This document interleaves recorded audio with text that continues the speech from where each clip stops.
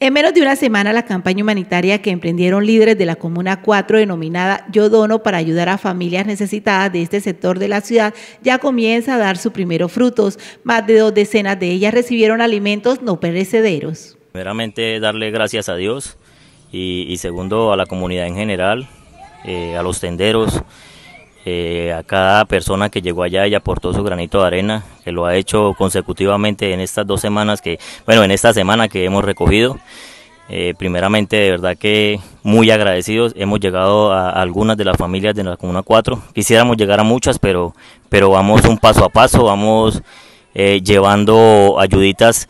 Así como se nos van dando, las vamos armando y las vamos llevando y gracias a Dios hemos tratado de mitigar en algunas familias de nuestra comuna.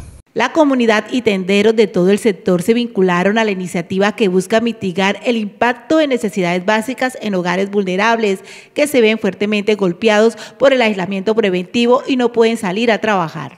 Bueno, darle las gracias a toda la comunidad, especialmente la Comuna 4, donde nos, han apoyado para poder eh, hacer llegar estas ayudas a la gente que, que en este momento no es mucha, pero con mucho cariño, con mucho amor por parte de los ediles y por parte de la comunidad se le ha podido entregar un mercado, es un mercado básico porque desgraciadamente no han llegado muchas ayudas a la Comuna 4 y es un granito de arena que ponemos los ediles para la comunidad. Se está, está haciendo una logística para continuar, ya que debido a, pues, al primer caso de, coronavirus aquí en la, en la comunidad de Barranca Bermeja, pues nos toca tratar de ser más delicados y más cuidadosos con las salidas, pero sí se va a prolongar de pronto semanalmente.